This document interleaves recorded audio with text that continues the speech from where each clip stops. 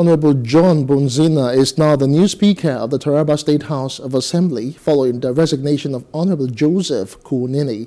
The former Speaker made his position known through a letter deliberated on during a, an emergency sitting in the House presided over by the Deputy Speaker, Honorable Hamman Abdullahi.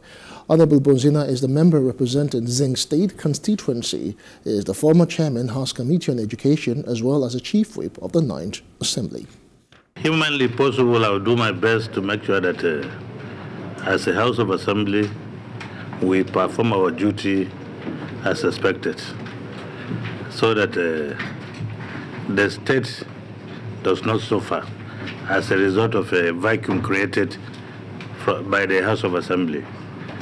So I will do my best to make sure that uh, it's going to be a teamwork. I'm not going to work alone because I'm the speaker. It does not mean that I work alone. I'll consult the past speakers if they are still members of the House.